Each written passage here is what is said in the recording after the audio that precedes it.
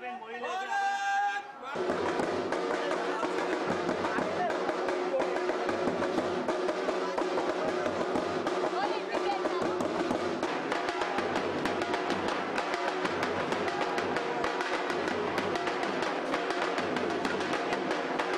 रोजिंदा प्रचार में तो डोर टू डोर कैंपेन हमारा चल रहा है।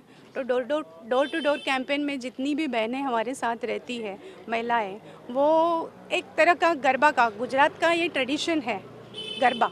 और गरबा हर एक पर्व में, हर एक प्रसंग में, शुभ प्रसंग में किया जाता है। चूटनी पर्व भी एक शुभ प्रसंग ही है हमारे लिए, भारतीय जनता पार्टी के लिए। और लोगों के बीच जाना और गरबा करना और लोगों का एंथोजियाज़म बढ़ाना, एक गरबा का एक इंटेंशन है कि भाई उस तरह से लोगों का मॉरल अप हो जाता है।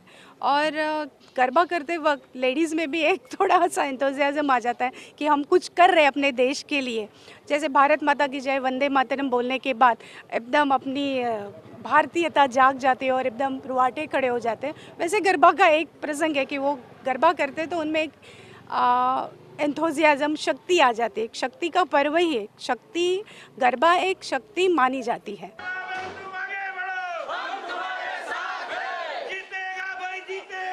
Olha a bola!